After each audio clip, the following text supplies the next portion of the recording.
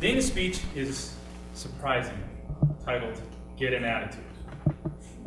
Uh, okay.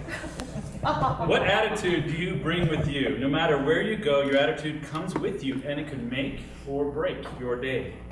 Dana believes that by seeing the positive in each situation, not only will your life improve, but so will the lives of those around you. So please help me welcome Dana with Get an Attitude.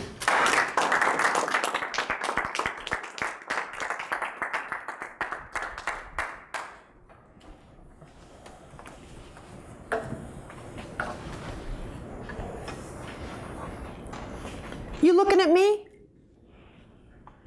Talk to the hand. Whatever. Do you recognize that attitude? Do you know people with that attitude? Maybe you have had that attitude. I know that I've had that attitude. And it hasn't served me well. Has it served you? I don't think that everything is always cheery.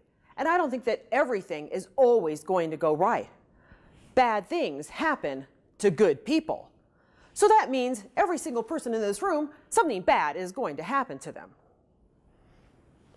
But that doesn't mean we have to carry that negativity with us every place we go and lay it on the next person we run into. It's true, bad things happen.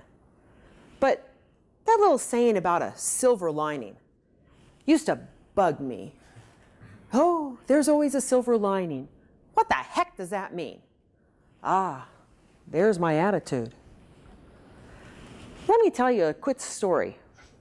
Several years ago, I went to a pastor's conference in Uganda. Uganda, a small country in the middle of Africa, very poor. I went there because my friend was teaching. And I thought, Uganda, why not? Off I went. There were people who came to this conference that walked three miles to get there. Three miles with no shoes. I don't know about you, but I know that most Americans don't want to walk three blocks with $200 tennis shoes on. These people were so grateful to be at that conference after walking three days with no shoes. Kind of makes your perspective on life a little different. Sometimes things just go wrong on a daily basis. Unexpected things. Maybe you're driving to a Toastmaster meeting. You're going to give the speech of your life. You get a flat tire. Granted, this is an incredible inconvenience. You may have to reschedule your speech. But be grateful. There's air in the spare.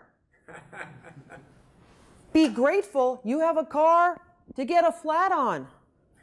How many people would be really happy to have that car?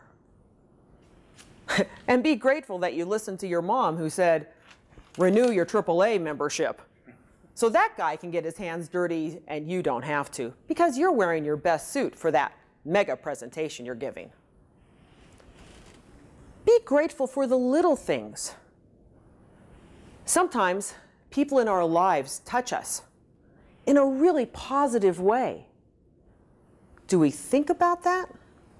Or do we think about the fact that, ooh, they were mean once, or oh, they left the dog out, they forgot to feed it, or they gave me a cat? Okay, that's inexcusable. But there are so many positive things that people bring to us that we can appreciate instead of thinking about all the negative things. When I carry around a bad attitude, I know for me, things don't go as well. There's this thing about vibrations. I don't know, has anyone heard about vibrations? Back in the day, we'd go, I got a good vibe from that guy. I thought, that's kind of like a groovy way of saying he was cool or something. The fact is, there are vibrations in the world, and when we are positive and hopeful and happy, we put out really good vibrations. There was a song about that. Maybe we should rewrite it. You're too young, Renee. You don't remember. but it has a real and honest impact on us. When we come into a room and we're positive and we're upbeat, our attitude towards others will reflect back on us. I know that I've been to meetings and I've been a little on the grumpy side. Things haven't gone exactly my way that day. But once I get to the meeting and things start happening, wow, my attitude completely turns around. And by the end of the meeting, you know what? My life's pretty doggone good.